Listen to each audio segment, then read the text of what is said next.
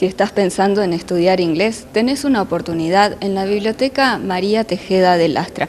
Allí comienzan el próximo lunes 27, hay una reunión informativa y es a las 19 horas. Podés acercarte. Los cursos están destinados a niños, jóvenes y adultos. Así que información lunes 27 de marzo a partir de las 19 horas en la biblioteca.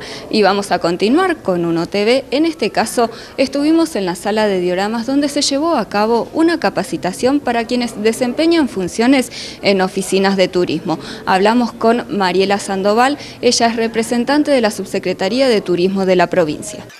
Eh, estamos dando un curso de capacitación denominado FOIT, Fortalecimiento de las Oficinas de Informes Turísticos, a raíz de un requerimiento de capacitación de las oficinas de informes tanto de sala dioramas como de defensa civil y turismo de la municipalidad de Cutralcó.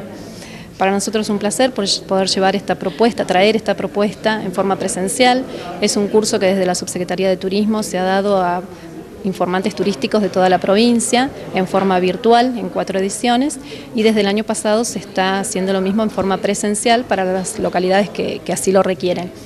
Eh, un gusto trabajar en contacto con las, localidades que quieren trabajar por el turismo y el interés comienza por la capacitación, así que estamos siempre a disposición de colaborar y de trabajar en conjunto con, todos ellos. ¿Los principales ejes temáticos que se abordan?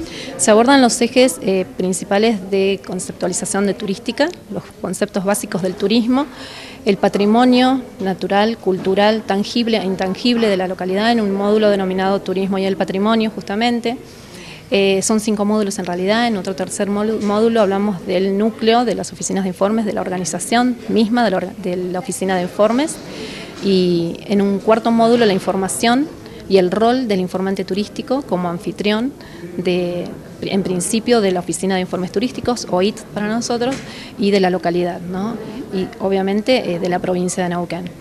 Y un quinto módulo, hablamos de la calidad en el servicio de atención, trabajamos por llegar a un servicio de excelencia, eh, abordando todos estos módulos de conceptualización básica de turismo, como para ubicarnos y conocer más eh, detalladamente a la demanda que tenemos, como para clasificarla, satisfacer sus inquietudes, patrimonio, para poder trabajar y poner en valor eh, algún patrimonio, algún lugar que nosotros sabemos que nos demanda, perdón, que la gente visita, que solicita información, en organizarnos adecuadamente, en trabajar en un sistema de información integrada con otros puntos de la provincia, con todos los corredores que integran la provincia de Neuquén y en llegar a satisfacer al turista que visita la provincia de Neuquén y fidelizarlo, que vuelva, que regrese a la provincia de Neuquén, que ese es el objetivo de toda la subsecretaría y esperamos de todas las oficinas de informes turísticos. Más allá de los temas que ustedes plantean, ¿se hace de manera conjunta con quienes participan un análisis del servicio turístico que se está prestando, en este caso en la ciudad de Cutralcó?